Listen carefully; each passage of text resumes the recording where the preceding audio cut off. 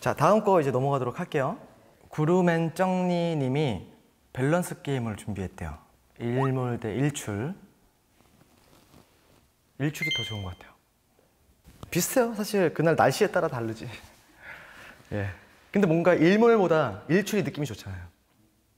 그리고 또 하나는 햇살 비추는 태양 대 달과 별. 아, 이것도 사실 날씨 차이거든요. 어, 저는 아, 원래는 사실 정말 따뜻한 햇살이 비추는 태양의 낮을 되게 좋아해요. 근데 달과 별을 항상 그리워하는 것 같아요. 네. 빗방울이 떨어질 듯 말 듯한 흐린 날대 구름 햇살이 포근한 날, 바람 안 부는. 당연히 저는 구름 햇살이 포근한 날이죠. 어, 비 오는 거 좋아하는 편이긴 한데 그래도 날씨 좋은 날이 좋아요. 자, 다음은 멕시코 엘프를 위해 노래 한 곡을 불러주세요. 밑도 끝도 없이 그냥 멕시코 엘프들을 위해서. 그럼 멕시코 노래를 해야 되나요? 네. 로시엔토로 해야 되나? 어, 멕시코 엘프님을 위해서 어, 이렇게 바람이 좋은 이 밤에 온종일 너와 걷고 싶어. 이렇게 바람이 좋은 이 밤에 온종일 너와 걷고 싶어. 네 짧게 불러보도록 했, 어, 불러드렸습니다. 어, 예성의 ASMR 유튜브 채널을 만들 생각 없나요? 네 많은 분들이 저에게 유튜브 채널 만들 생각 없냐 라고 많은 질문을 해주시는데 100번 정도 얘기한 것 같은데 없어요. 네, 없고요. 네, 저는 항상 얘기하지만 좀 더 잘 만들어진 만들어진 컨텐츠로 여러분들 만나고 싶습니다. 예. 자, ASMR로 이번 앨범 소개. ASMR이 그 조용히 얘기하는 거예요? 아.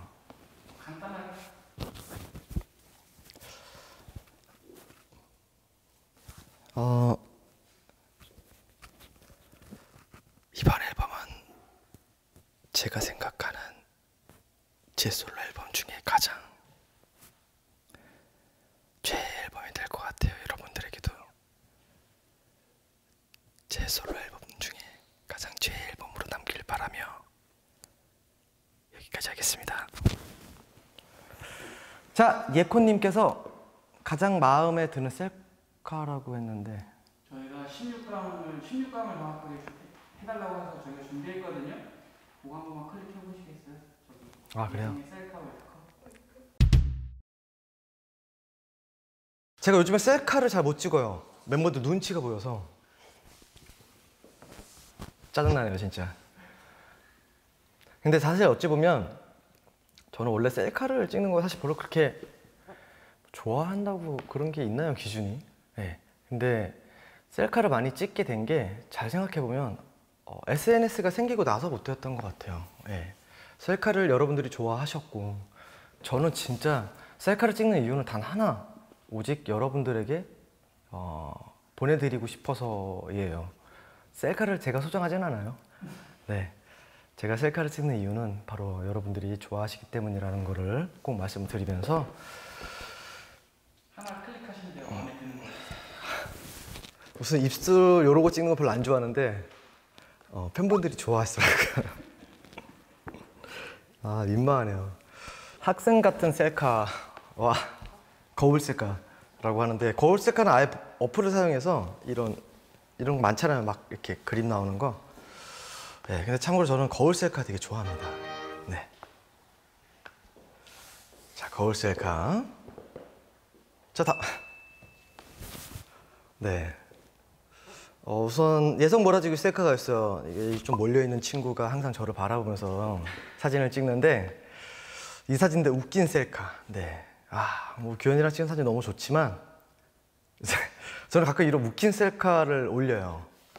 재밌잖아요. 예, 멤버들 미친 거 아니냐고 하는데 어, 제가 봤을 땐 유튜브 하는 게 더 미친 것 같아요. 자, 웃긴 셀카.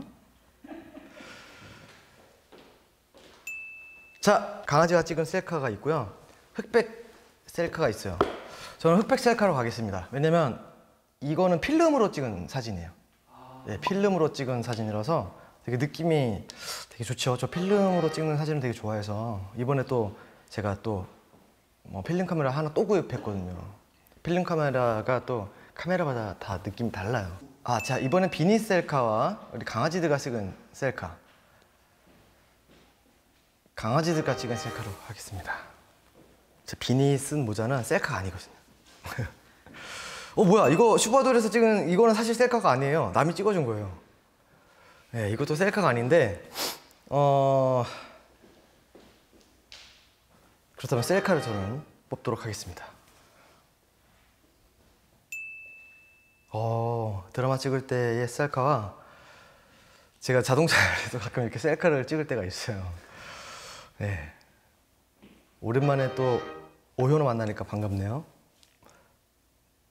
Oh my god. 제가 예전에 화보 찍었을 때 예, 작년인가요? 재작년인가요? 그리고 예, 엎드려서 제가 방에서 누워서 가끔 이렇게 사진 찍거든요. 메이크업 지우기 전에. 그래도 네. 와 이거 진짜 언제냐? 이거 진짜 싸이월드 감성 셀카 이거는 좀 오래된 사진 같아요. 제가 이때가 어, 언제인지 기억도 안 나네. 진짜 옛날이에요. 그리고 어, 후드를 뒤집어 쓰고 있는 이 사진은 누가 봐도 셀카가 아니죠. 제가 서로 모으고 있어요. 누가 찍어, 찍어준 사진이지만 셀카는 원래 본인이 찍는 게 셀카 아닌가요? 그렇긴 한데 그 남이 찍어준 설정샷이라고 생각해서 아, 아무튼 이 후드 입고 찍은 사진은 제가 재작년에 일본에서 콘서트 혼자서 하고 있을 때 그때 이제 어, 아마 그때일 것 같아요. 예, 후드 셀카 가겠습니다. 8강전이 이제 시작이 되는데 예, 아까 16강전에서 승리한 셀카들이에요. 강아지들과 함께 찍은 사진과 자 아까 그 거울 속 셀, 셀카죠. 네, 그 어플을 사용한 셀카예요. 어플 좋아요. 아, 그게 뭐라고 참 그놈의 어플 안 쓰는 게 간지라고 생각했던 적이 있었어요, 사실은. 아무런 부, 부질이 없어요. 그냥 못생기게 나와요. 부질이 없어요. 그냥 못생기게 나와요. 근데 가끔 이렇게 어플을 사용하지 않아도 멋있는 사진이 나올 때가 있어요. 흑백 셀카처럼요. 네. 자, 여러분들이 사실 제가 이 옷을 풀어헤치고 찍은 사진들을 되게 좋아해 주셨는데 저는 사실 이 후드 쓰고 찍은 이날의 사진들이 되게 좋아요. 어플을 사용했으니까요. 자, 웃긴 셀카다 셀카 대 빨간 머리 셀카. 아 빨간 머리 정말 짧 짧고 굵은 이 시절 추억하며. 아 네. 뭐가 낫지? 그래도 약간 연기 들어가 있는 이 후드 셀카. 눈빛이 아련하잖아요. 아련한 거 좋아해요. 그리고 아 거울을 사용했지만 어플로 찍은 사진과 필름으로 찍은 사진. 여러분들이 얼박샷을 되게 좋아하는 거 알고 있기 때문에 필름 사진 가겠습니다. 아, 자 마지막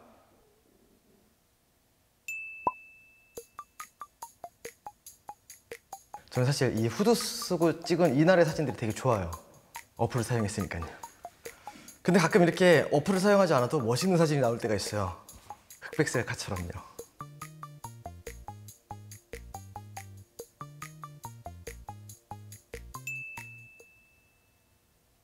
아, 조금 고민했어요. 진심으로. 후드 셀카 가겠습니다. 남이 찍어준 사진이기 때문에 더 의미가 있었어요. 그리고 설정샷. 그리고 셀카라고 착각 드는 샷. 또 하나는 아련한 눈빛. 그렇다면 1등 충분하죠.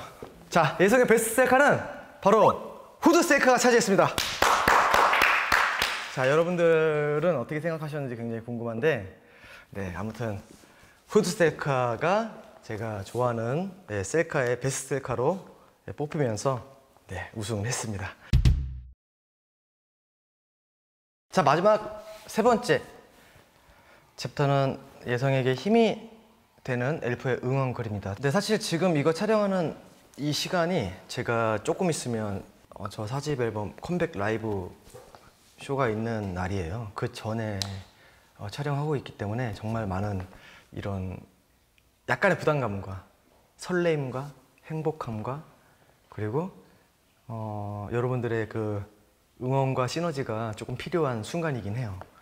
자, 이런 베스트 타이밍에 많은 분들이 어, 저에게 응원글을 남겨주셨다고 하- 해요. 자, 첫 번째. 되게 간단하죠. 오빠 사랑해. 네, 감사합니다. 자, 두 번째는 항상 행복해야 돼요. 네. 와, 정말 제 예상과 다르게 정말 간단 명료하시네요. 세 번째 댓글은요. 네. 오빠는 항상 우리의 자랑이다. 감사합니다. 저도 엘프는 항상 저의 든든한 자랑이자 백이었습니다. 자, 다음은 저는 오빠를 위해 조금이라도 힘을 주고 싶어요. 왜냐면 오빠가 저에게 큰 위안을 주었습니다. 너무 고마워요. 그래서 보답을 하고 싶어요. 항상 응원할게요. 오빠 앞으로 계속 꽃길만 걸어요 라고 보내주셨는데요. 가끔 그런 생각을 해요. 뭔가 여러분들의 댓글이나 여러분들의 응원글들을 보다 보면 어, 제가 많이 위안을, 위안이 됐고 제 노래가 큰 용기가 됐고 힘이 됐다는 얘기를 해주시는 분들이 많아요. 그때마다 드는 생각은 그런 얘기를 해주시는 분들은 과연 어떠한 감정으로 그렇게까지 생각을 했을까? 음, 돌이켜 봤을 때 저도 어릴 때 또 그런 성장기 때또 뭐 연습생 때 데뷔하고 나서도 마찬가지고 항상 음악으로 위안을 받거든요. 똑같은 마음이지 않을까라는 생각이 들었습니다. 그렇기 때문에 이번 앨범은 음, 개인적인 욕심은 다 내려놓고 여러분들에게 더 큰 힘을 드리고 싶은 마음으로 준비를 했던 것 같아요. 자, 다음 댓글 읽어볼게요. 네, 우리의 천사 예성 매일 당신의 긍정적인 달콤한 말에 감사하고 그것은 나의 하루를 더 행복하게 만듭니다. 넌 세상에서 가장 빛나는 스타야. 그리고 내 음악은 최고야. 내 앨범 축하 축하해 라고 보내주셨는데 너무 감사드립니다. 네, 저는 여러분들의 응원에 또 다른 그런 용기를 얻습니다. 잊지 마세요. 엘프가 당신을 사랑한다는 것을 결코 잊지 마세요. 네, 알겠어요. 당신의 모든 결정을 응원합니다. 이번에 앨범 준비하면서 제가 스포 아닌 스포를 여러분들께 하면서 그리고 저는 사실 여러분들의 응원 글들은 자주 봐, 봐요. 사실은 진짜 많이 봐요. 저만큼 보는 사람은 없을 거예요. 저는 사실 이제 서치를 하면서 느꼈던 거는 진짜 많이 용기를 얻었어요. 네, 제가 이렇게 이번 앨범도 준비하면서 많이 걱정을 했었어요. 근데 여러분들의 응원을 보고 더 많은 용기를 얻었고요. 그리고 여러분들이 생각보다 저를 많이 아시는구나라는 생각도 들었어요. 제가 어떠한 얘기를 해도 여러분들이 제가 어떤 생각으로 했는지 그리고 또 하나는 어떤 얘기를 하고 싶은지도 많이 아시더라고요. 그래서 어, 나도 여러분들에 대해서 더 많이 알아야 되겠다는 생각이 들어서 여러분들의 어, 이런 글들도 많이 찾아보게 됐어요. 또 하나는 여러분들의 반응을 보고 결론은 해답이 나오는 것 같아요. 저는 그렇기 때문에 그만큼 저는 여러분들의 어, 마음이 더 중요하다는 거. 네.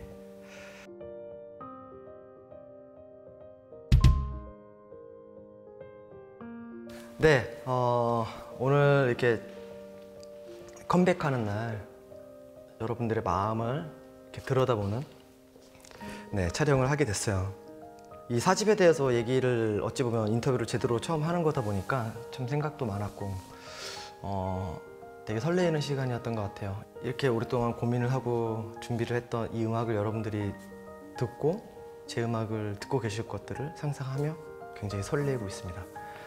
네, 언제까지나 저를 설레게 해주시고 그 설레임이 행복으로 가는 길이 되는데 저에게 행복이라는 큰 선물을 해주셔서 너무 감사드리고 앞으로도 열심히 하는 예성이가 되도록 하겠습니다.